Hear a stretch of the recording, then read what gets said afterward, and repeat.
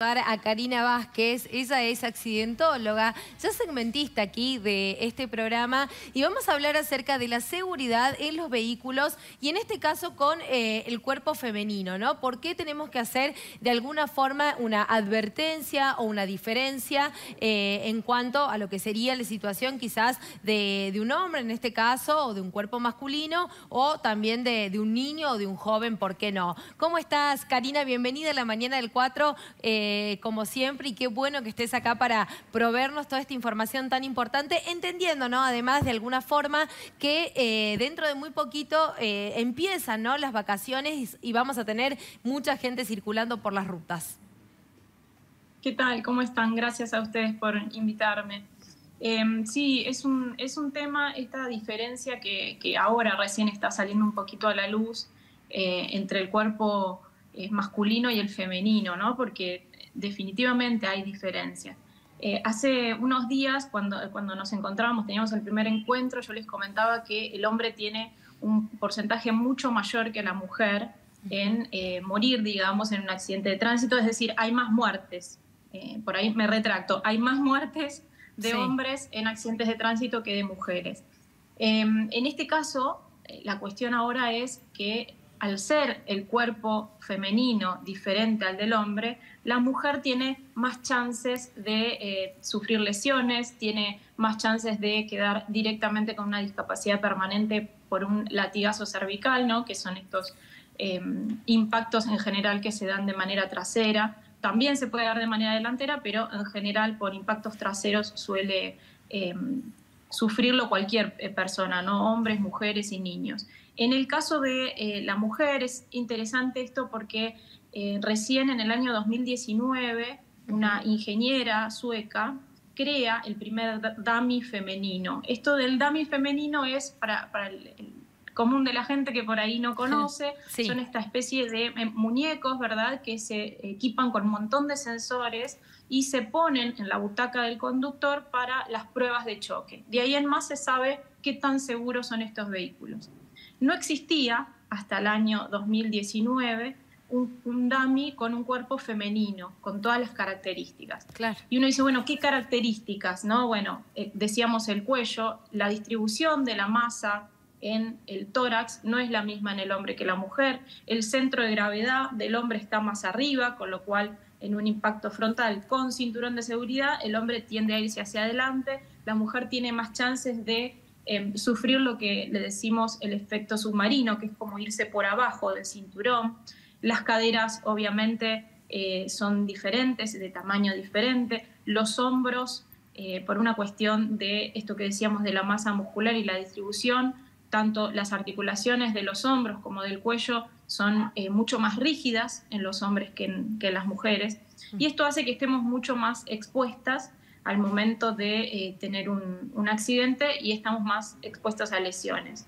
Ahora, ¿qué podemos hacer con eso? Claro. Por suerte, Claro, es la parte más importante, ¿no? No, no, no, pero me, refiero a eso, ¿no? Porque uno por ahí piensa en la seguridad del vehículo y, realmente qué interesante esto que estamos hablando, ¿no? Porque el sistema de seguridad uno de verdad lo ve muy parecido, tanto para un cuerpo femenino como para un masculino, ¿no? Y desde allí decir qué bueno tener unas herramientas para, para saber que yo como mujer o que yo con mis características físicas femeninas puedo tener otras cuestiones de prevención en el momento de circular con el vehículo, ¿no?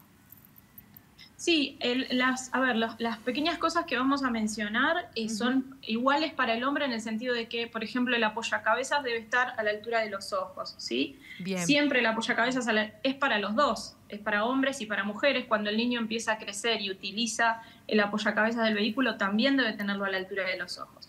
Eh, la diferencia acá, ¿dónde está? Por ejemplo, el cinturón de seguridad nosotros tenemos que bajarlo hasta que pase por la clavícula en las mujeres. En el hombre en general casi no hace falta que lo baje. Por supuesto están las excepciones, hay hombres con menos estatura y hay mujeres mucho más altas. Pero esto me parece importante destacarlo más por la sensibilidad que hay en la sociedad con el tema de género. Yo hace muy poquito publiqué este tema en, en mi red de Instagram y recibí muchas agresiones eh, justamente porque me decían feminista, feminazi. Digo, no es una cuestión de género esto, es una cuestión de épocas. Cuando el auto se crea, estamos hablando del 1700, eh, los, que, los primeros que utilizan hasta la década del 70 los vehículos son los hombres.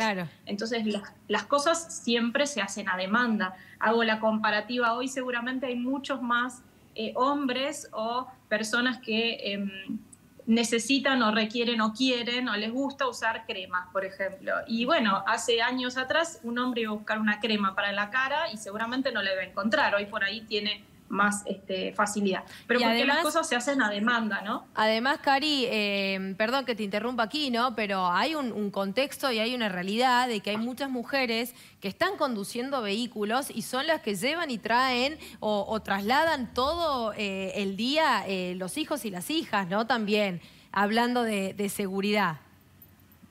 Sí, sí, sí, por supuesto. Bueno, una cosa lleva a la otra, ¿no? Siempre decimos eh, por ahí medio en broma, medio real, qué mal negocio que hicimos, ¿no? Con esto de acaparar tantas cosas y de hoy la mujer trabaja, lleva a los hijos, no deja de trabajar, digamos, porque, porque este, trabaja en casa, no deja de trabajar eh, afuera y porque trabaja afuera, no deja de trabajar en casa. Entonces cada vez tenemos más actividad y sí, lo cierto es que estamos más expuestas. Ahora, en cuanto al vehículo, ¿qué podemos hacer? Decíamos, bajar el cinturón de seguridad, eh, el apoyacabezas que esté siempre a la altura de los ojos, el respaldo. Hay mucha gente que por cuestiones de comodidad o a veces, este, bueno, comodidad en general, digámosle ahora, reclina un poco el asiento. Eso para una mujer aumenta la posibilidad de que en un impacto se genere este efecto que decíamos submarino, que es irse por debajo del cinturón y no irse hacia adelante, ¿no? Y que el cinturón pueda cumplir su función.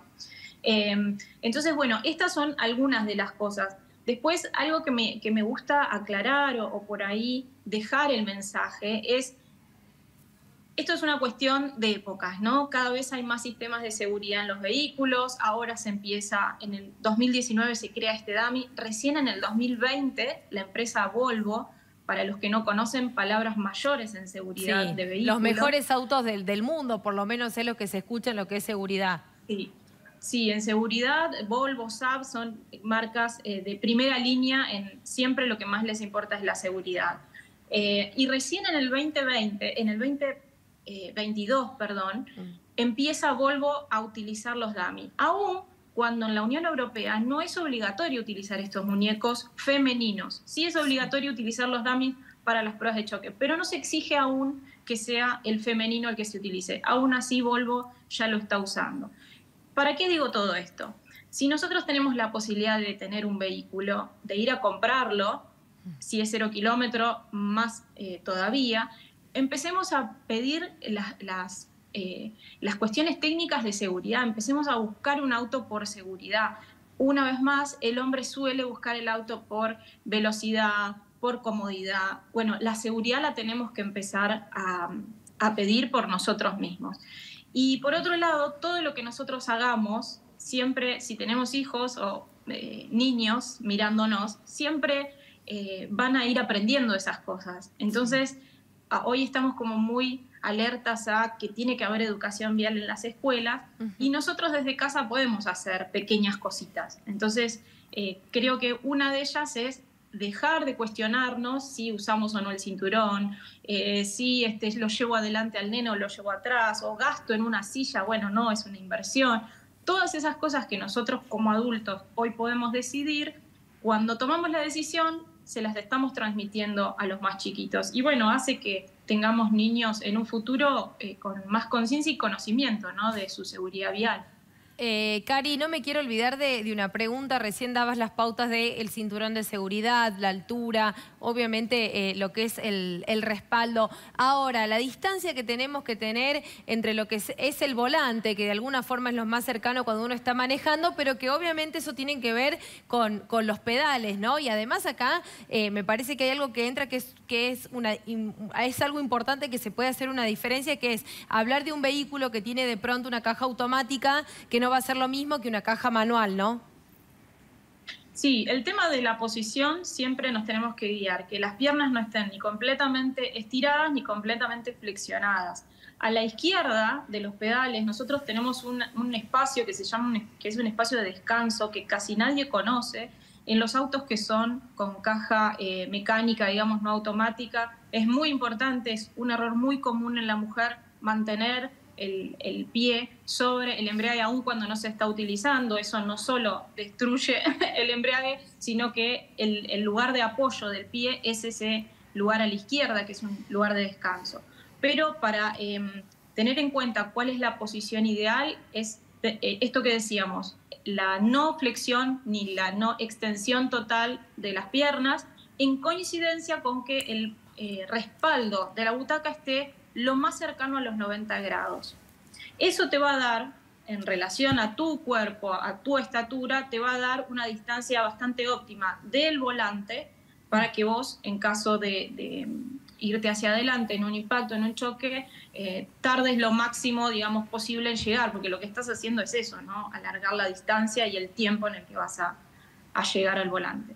Y hago una pequeña salvedad acá, los, los obstetras no lo suelen decir, pero eh, más con esto que decimos hoy de em, el tema delicado de, género y o de, los temas entre mujeres y hombres, eh, no lo suelen decir los obstetras, pero la mujer con una eh, panza de embarazo ya protuberante no debería conducir.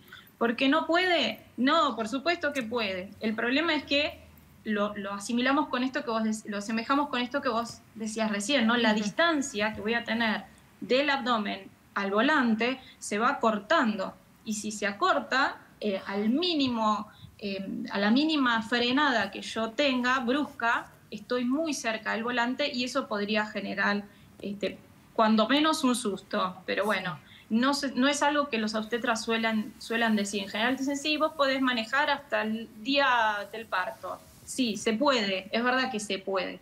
Si lo podemos evitar, evitamos ese riesgo de, de, golpe, ¿no es cierto?, en el abdomen, en, en la panza de, una mujer embarazada. Bueno, Karina, me encanta eh, este tema, ¿no? De, de mujeres que están cursando un embarazo. Eh, de, que lo podamos ¿no? como ampliar, si a vos te parece, quizás podría ser ¿no? el, próximo, el próximo tema para ver qué, qué seguridad ¿no? se puede tener, entendiendo que hay mujeres que sabemos que tienen la posibilidad de decir, bueno, yo hasta este, este no sé, siete, ocho, nueve meses de gestación dejo de manejar y la realidad es que hay muchas que seguramente no van a poder dejar de hacerlo, pero podemos trabajar eh, en prevención, si te parece. Sí, claro, encantada. Muy bien, antes de despedirte, por favor, déjanos tus redes, así la gente, bueno, puede entrar, buscarte y conocerte. Sí, mi red es Instagram, estoy en Instagram para, para toda la comunidad o en LinkedIn para este, temas profesionales, pero em, en Instagram me encuentran como la chica de tránsito. Gracias por todo, Karina, me encanta escucharte, que estés muy bien, tengas buen día. Un placer, chao, chao.